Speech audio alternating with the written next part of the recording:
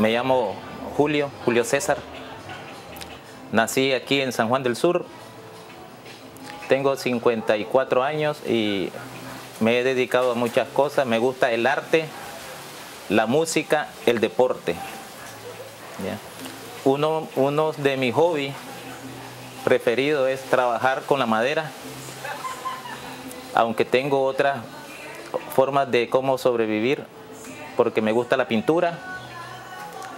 Y sí, estoy haciendo trabajo solamente para mi familia, para mi hogar, la casa, porque no hay recursos para tener una, un taller, porque se necesita de maquinaria, instrumentos y un poco caro. Entonces sí me dedico a hacer arte en mi casa para mi familia.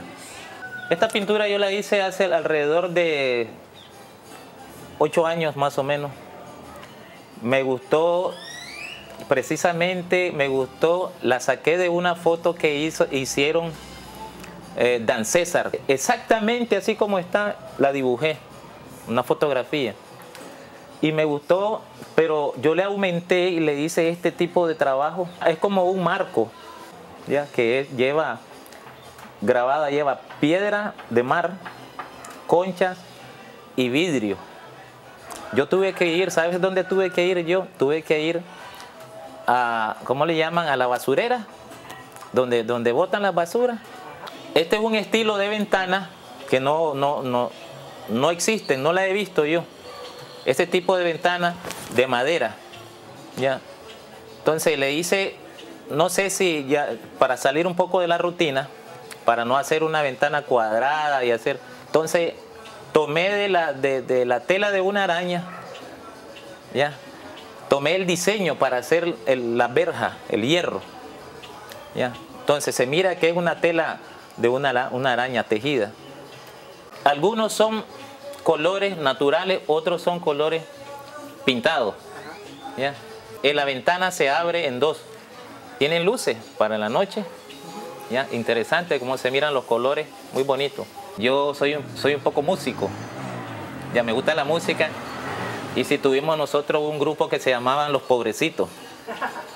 Don Bigote y Los Pobrecitos se llamaban. Yo me inspiré en hacer una, ventana con, con un instrumento, como miramos, tiene una guitarra. Tenemos una ventana. Esa ventana fue inspirado en, tú conoces las carretas de, del oeste, en el tiempo del oeste en Estados Unidos. Me gustaba ese tipo de rueda. Entonces yo decidí hacer una, pero metálica. Esta casa fue construida, yo diseñé la casa, porque me gusta el diseño. Estudié diseño también. Y yo construí con mi familia, mis hijos. Yo, es que esta casa debería de ser casa del arte. Este es un trabajo inspirado en yo le llamo tierra de agua viva porque están representados muchas cosas. Tenemos frutas, tenemos animales, árboles, agua, peces.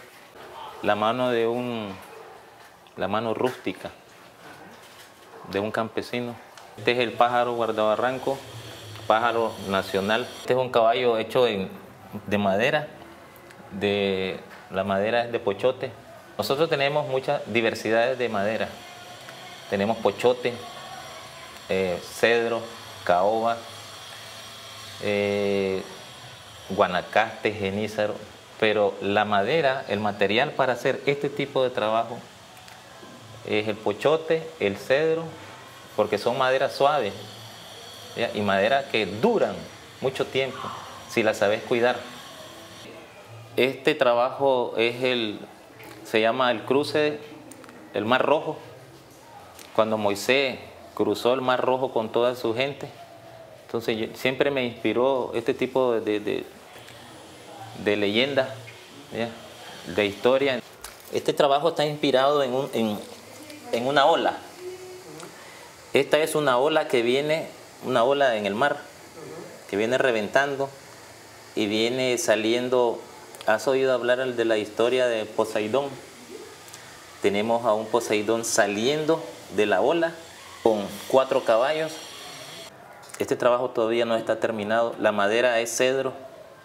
Tuve la oportunidad de, de estudiar en la hoy ex Unión Soviética en el año 85. Sí, viajé a Rusia, a Rusia en el 85 porque fui fui becado por el gobierno sandinista a estudiar en el tiempo de que estaba la revolución estaba un poco fea. O sea la contrarrevolución estaba en ese entonces estaba tratando de tomar el poder.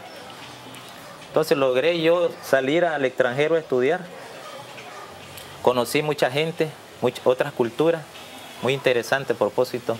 Hablo ruso es mi segunda lengua natal.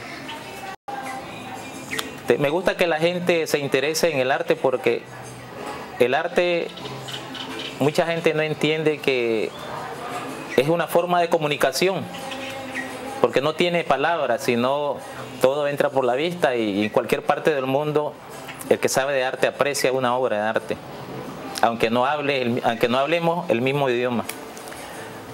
Pero lo interesante de esto es que mucha gente viene y le gusta el arte que nosotros hacemos, no solamente madera, hay otras, otros tipos de artes que se hacen aquí en San Juan del Sur.